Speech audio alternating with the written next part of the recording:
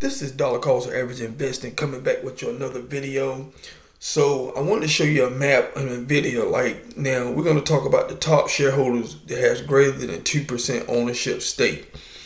So for number one is Vanguard. So, you know, Vanguard is a um, huge company and, you know, they primarily uh, got 8.25% of NVIDIA.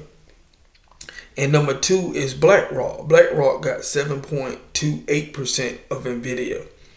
And then number three, Fidelity. Fidelity has 5.22% of NVIDIA. And then the number four is State Street. State Street got 3.59% of NVIDIA.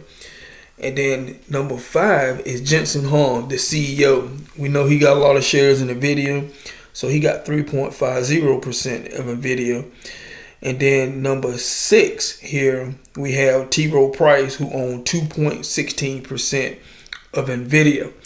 Now, the other 70% here is probably going to be like retail investors, hedge funds, little small um, brokerage and stuff like that.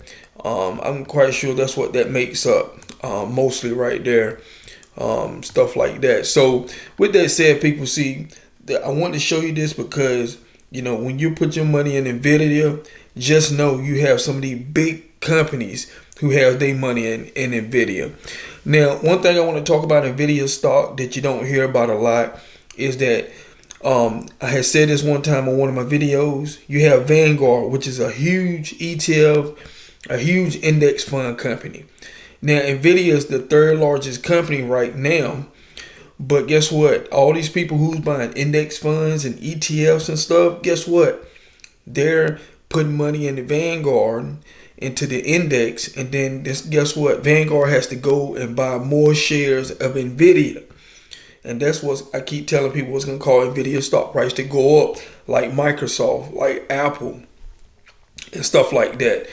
And then you have BlackRock is another huge company and all their funds and stuff. And then you have Fidelity, State Street, T. Rowe Price, all their funds, the technology funds, um, index funds, the ETF technology funds, um, you know, the SP 500, um, the total stock market, all these funds and stuff has to purchase more Nvidia as people just keep buying more of them funds in these companies.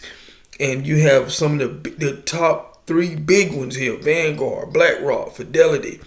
So just know, people, when you own NVIDIA, guess what? You have of these big firms who own a lot of NVIDIA too. So um, just want to bring you that video, people. If you don't mind, please share the video.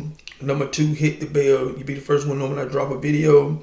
And number three, don't cost you nothing, people. It's free. Subscribe to the channel. So I thank you for your support. Thank you for taking your time um, to watch the video here on Dollar Cost Average. So with that said, I catch you on the next one.